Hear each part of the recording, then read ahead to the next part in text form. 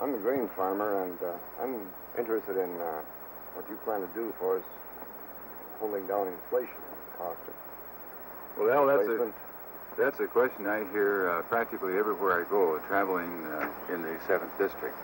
And it seems to me that uh, inflation has just got to be the number one problem in the whole country as far as domestic issues are concerned. You know what I'd do if I uh, were in Congress, if I had that opportunity, I would back the administration uh, in those areas that, that I think that uh, it is doing the right kind of job, particularly in its war against inflation. It doesn't do you as a farmer much good, you know, to get higher prices for your for your grains.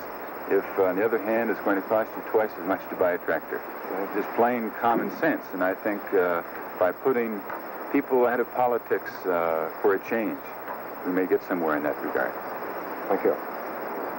Jon Haaven, true to his word, true to your trust.